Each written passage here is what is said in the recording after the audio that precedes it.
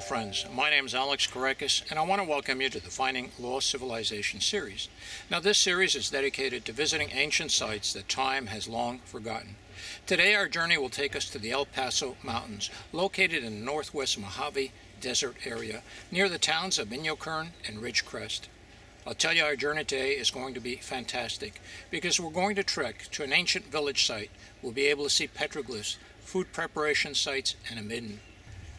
However, the most fascinating thing I encountered was finding an ancient stone tool used to make mortars for food preparation. I'll tell you this is going to be an exciting journey and I invite you to come trek with me.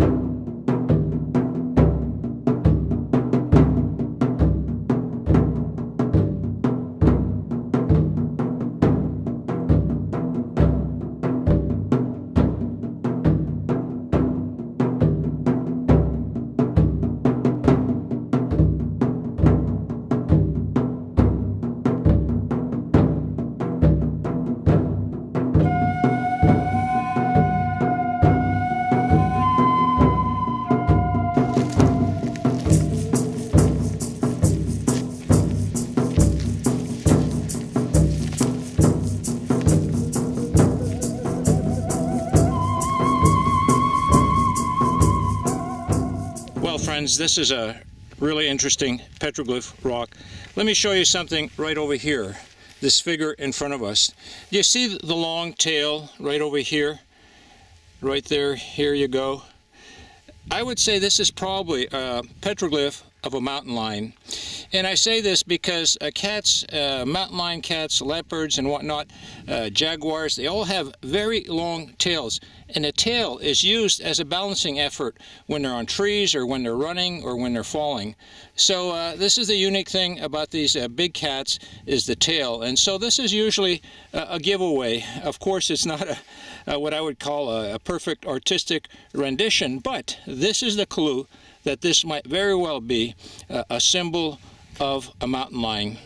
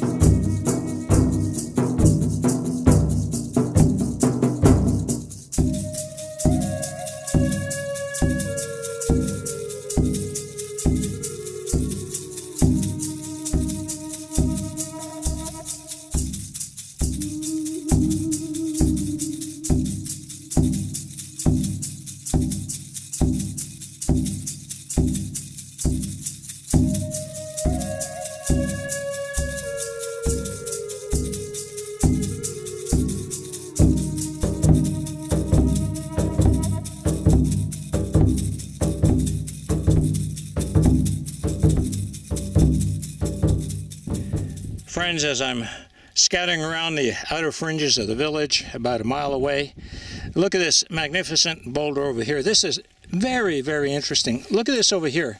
Let me show you something. You can see right over here the beginnings of a, a cupule or a small anvil for grinding. Now right over here, it's smooth, but you can see right over here where it's very rough and starting to be built, so to speak. But look at this, laying right here next to it. This is incredible. This is the hammerstone used to create this. Right over here, you can see the bottom. Let me show you right here. There's where it was pecking away. And look at the configuration. It was two-handed.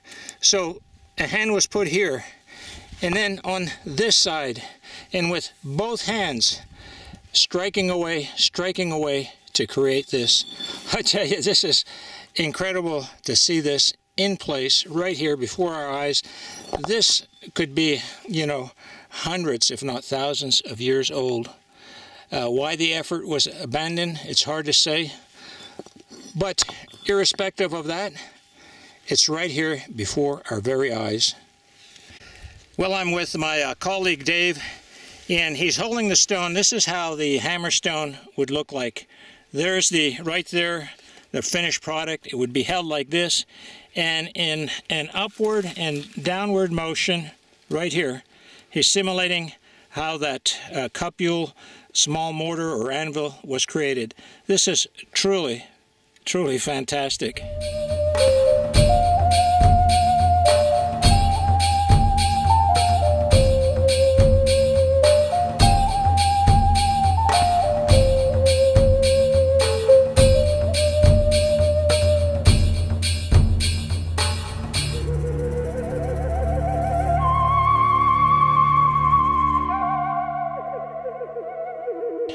Right over there, do you notice how green everything is? The soil is starting to get darker. Friends, that is a midden site, and a midden site is an area where the ancients put the refuse of their everyday life. So right over there uh, is the midden site. You can tell it because the soil is darker. And the reason the vegetation there is green, because let, let me say in simplistic terms, this is where they threw their uh, garbage, okay? A lot of organic stuff, so it fertilized the soil, uh, so to speak, you know. Uh, and therefore, this is one of the ways that you can spot a possible midden site. But for sure, the dead giveaway is the soil. So we're going to take a walk up there and uh, look at that area. Well, I'm at the outer edges of the midden, and what I wanted to show you is, you see how light colored the soil is? Let me turn around and go back to the midden. Right here, it's, it's starting to get a little darker. Right over here, you can see it's, it's becoming uh, much darker right over here. But if you look at the ground, it's uh, a brownish gray color as opposed to where we just looked at, which essentially looks white. I can see it with my own eyes. It is actually uh, getting darker right over here. Here's a dark spot. Oh my goodness, look at this right over here. This looks like another grinding slick, but it's broken. Now here's one of the special characteristics on these midden sites. You know, in many traditions in the ancients over here, is once an individual died, all his possessions were broken, so to speak, and then put into the midden. The property was not kept. They thought it would be bad for the spirits. So, right here in this area, we'll probably find some broken pestles, some broken mortars, and probably all manner of items that the ancients once used. Well, there again in front of us is a, another series of uh, grinding slicks that are broken. Uh, here's one for sure. Okay, again, smooth as silk. Uh, right over here is a, is a broken one right over here. Oh yeah, for sure. My goodness, that's probably another piece right there broken off. This whole site is littered with uh, broken grinding slicks, um, pestles, and uh, grinding stones, um, you know, manos, metates. Yeah, this is really fabulous. Well, I'm still walking around the, the midden area, and uh, look at this over here how thick the vegetation is over here. This spot right over here seems to be verdant compared to the rest of the area. And the reason being because it's, uh, uh, you know, right here on top of this midden site. Take a look on the other hill over there. See how brown it is? And right over here, how green.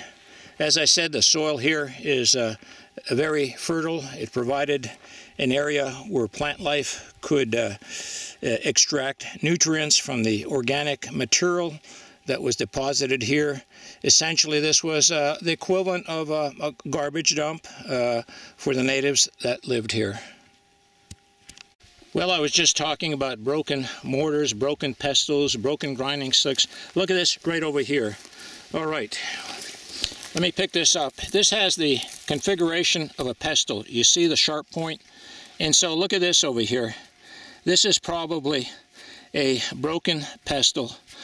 So whoever held this at one time passed away and uh, his pestle or her pestle was broken and placed over here. And look at this, here's another one right over here. My goodness, this is fairly typical again of a, of a pestle, uh, the style and the shape. So this is really, really fascinating.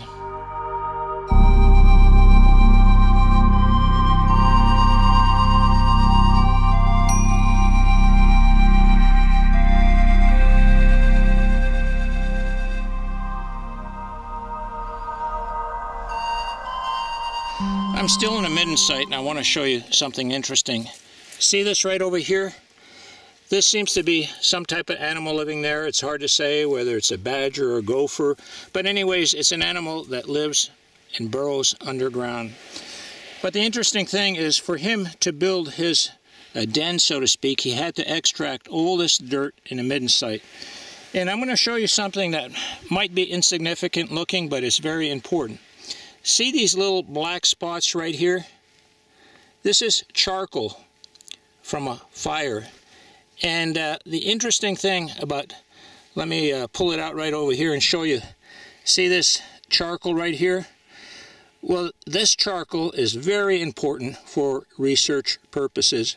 Essentially, you could take this charcoal piece right here and date it and maybe be able to tell how old uh, the site uh, could be. So, you know, there were several cultures and generations uh, that probably came here uh, over the past hundred and maybe several thousand years. But this little black piece of charcoal could be a clue to tell you how old this site is. So very important, very fascinating uh, piece of, I'll call history right there before our eyes. Well, as I was looking at this gopher hole and examining the bits of charcoal that are uh, brought out here by the uh, gopher or the badger, I looked over to my left right over here and I saw this uh, black stone and I picked it up and this is truly fascinating.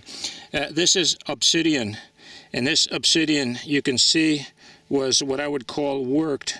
So essentially what this obsidian was used was to make what we'll call a point, whether it was a spear point, uh, an arrow point, or a knife. But this is very significant because this is also evidence of occupation. These um, uh, stones, or I should say this obsidian, can actually be dated and provide us an area uh, where this came from and how old it is. So again, this is another clue to uh, dating this site.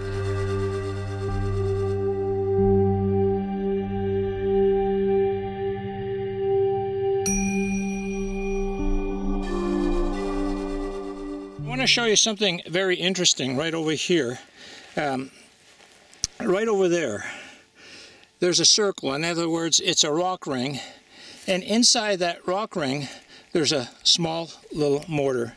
And I've seen this before. It, it could have been a small, what uh, let's call it a wickiup, uh, uh, some type of uh, maybe habitation shelter, or some other type of shelter to keep you away from the sun and the heat to uh, prepare food.